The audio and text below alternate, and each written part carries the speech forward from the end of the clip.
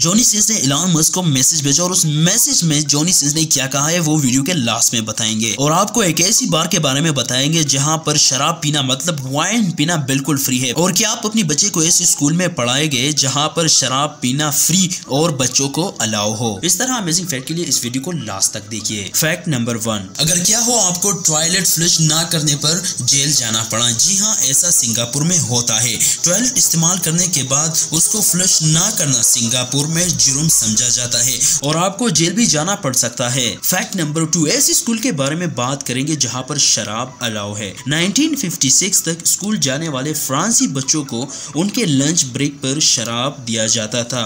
मतलब उनको lunch break में शराब अलाउ था। हर स्टूडेंट एक दिन में चार गिलास मतलब तकरीबन 125 मिलीलीटर तक शराब अलाउ था। Fact number three motivational speaker की वीडियो आपको क्यों देखनी चाहिए? एक रिसर्च में ये मालूम हुआ कि जो लोग पॉजिटिव ऑप्टिमिस्टिक और हैप्पी होते हैं, उनकी उम्र के साथ साथ मेमोरी की कमी का इम्कान कम होता है। तो इसलिए हमेशा पॉजिटिव रहो ऑप्टिमिस्टिक और हैप्पी रहो। और अगर पॉजिटिव हो आप तो इस चैनल को सब्सक्राइब और इस वीडियो को लाइक करें। फैक्ट नंबर फोर चिकन तो आप सभी खाते होंगे, लेकिन इसके बारे में एक अमेजिंग फैक्ट यह है कि चिकन निगेट का सिर्फ़ 40 या 50 परसेंट असल में गोश्त होता है।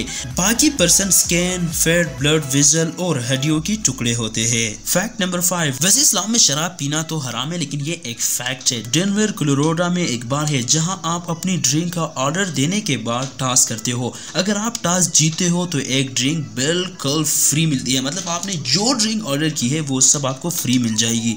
और अगर आप टास्क हार जाते हो तो आपको डबल पे करना होगा। Fact number six Vin Diesel को दुनिया का सबसे हॉटेस्ट गंजा आदमी करार दिया गया है। उसको ये नाम प्रिंस विलियम ने दिया है। उसकी और प्रिंस विलियम की एक मीटिंग हुई थी। उस मीटिंग के बाद प्रिंस विलियम ने विन डीजल को दुनिया का सबसे हॉटेस्ट गंजा आदमी कहा था और तब से अब तक विन डीजल को दुनिया का सबसे हॉटेस्ट गंजा आदमी कहते हैं। फैक्ट नंबर सेवन म्यूज़िक तो हर कोई सुनता है, लेकिन उसके बारे में एक अमेजिंग फैक्ट है। आप जिस टाइप की म्यूज़िक सुनते हो, वो ना सिर्फ़ आपकी मूड को इफ़ेक्ट करता है, बल्कि आपको दुनिया को देखने का अंदाज को भी बदल सकता है। मतलब आप सैड सॉन्ग सुन रहे हो तो आप सैड फील करोगे। अगर आपने लव नहीं भी किया होगा। फैक्ट नंबर एट बहुत से बच्चे ये सोचते हैं कि चॉकलेट मिल्क जो है वो ब्राउन गाँव से आती है। और अगर आप भी ये सोचते हो तो आप इस दुनिया में अकेले नहीं हो। एक एस्टिमेट के मुताबिक 23.2 मिलियन अमेरिकन लोग का ये बिलीव है कि चॉकलेट का दूध ब्राउन गायों से आता है। फैक्ट नंबर नाइन दुनिया का सबसे ओल्डेस्ट होटल जापान में है।